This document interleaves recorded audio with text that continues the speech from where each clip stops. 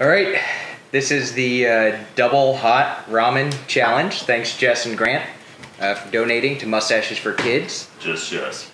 Just Jess. Supporting Special Olympics Nebraska, a great cause.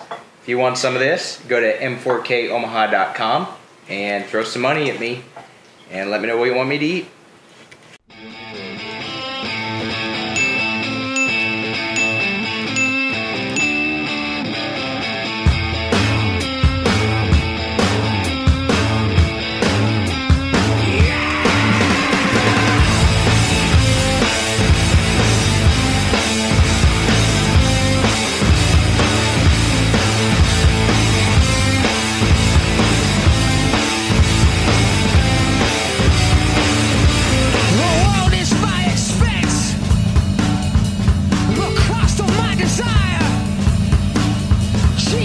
Me with